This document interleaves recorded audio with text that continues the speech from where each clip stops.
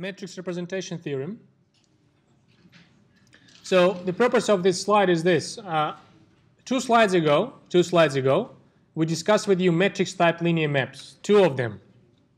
There was a type 1, which effectively is simply a matrix multiplication, and there was type 2, which was a significant development, but still, essentially, it's a matrix multiplication. Now, matrix representation theorem, it tells you that actually every linear map is of this type. So those two linear maps we discussed with you two slides ago, and the example I just did on the previous slide, it's that they are so fundamental that every other linear map is of the same type. It's matrix type linear map. There's no any other linear maps but the matrix type linear maps. I'm lying a little bit, slightly, I'm lying a little bit. I'll tell you where I'm lying because the, the, the world cannot be that dull there might be some very beautiful examples which are not matrix type. Otherwise, just, there's no reason to do anything about linear maps. But I'm not lying that far. And especially in your world, every linear map would be matrix type linear map. So again, I recall for you that F uh, it's either of these three number fields. So here's my theorem. It says this. If I have a linear map between n tuples and m tuples.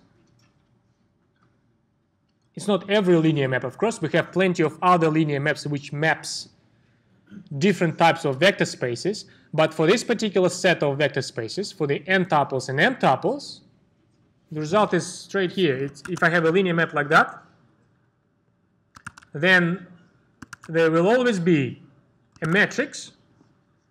There will always be a matrix, m columns, and rows such that such a linear map is a matrix type linear map of the first type.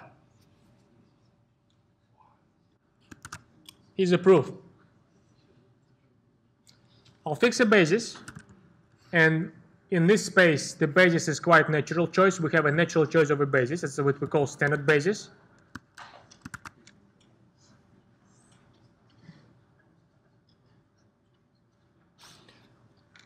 Uh, so here we go. If I take a vector with n components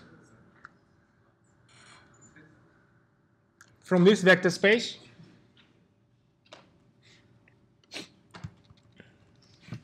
for such a vector, I will, I will come up with the natural representation with respect to my basis. Here it is, x1 times e1, x2 times e2, plus maybe the others xn times en.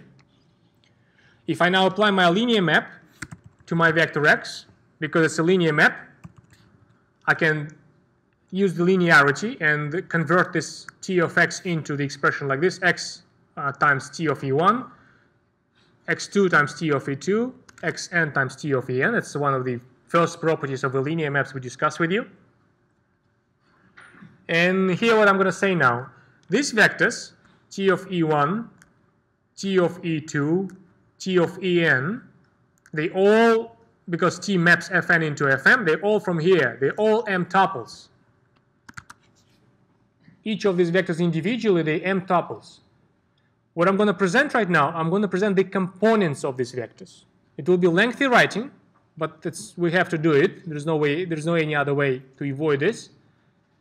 For each of these vectors, I'm going to present their components, and because we have n vectors, and each vector individually will have m components, I will need m times n notations. So I'm going to use the matrix notation. Here we go. T of E1, I'm going to give the name to the components with the little a letter. I'm going to change the first index, but the second index will be attached to this E1 thing. So here's my components for the T of E1.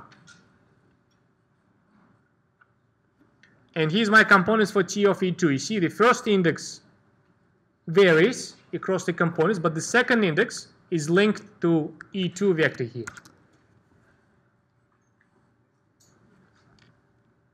Other vectors have similar structured components. The last one, En, here they are. Now if I combine this, let me just lift this up just a little bit. Now look what happens my t of x is the linear combination of these, of these vectors.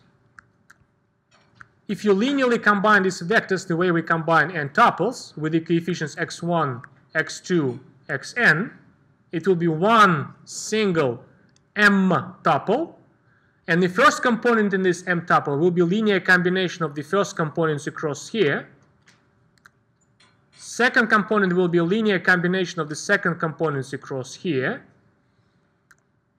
The last mth component will be the linear combination of the components across here. Here it is. It's a lengthy combination, but once we have to write this. So here's my linear combination of the, of the first components with the coefficients x1, x2, xm.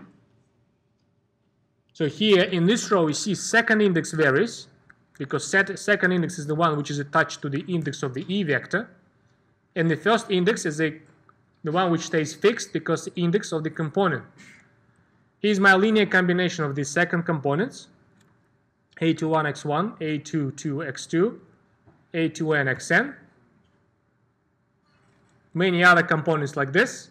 The last one will be, here's my linear combination, AM1x1, AM2x2, AMnxn.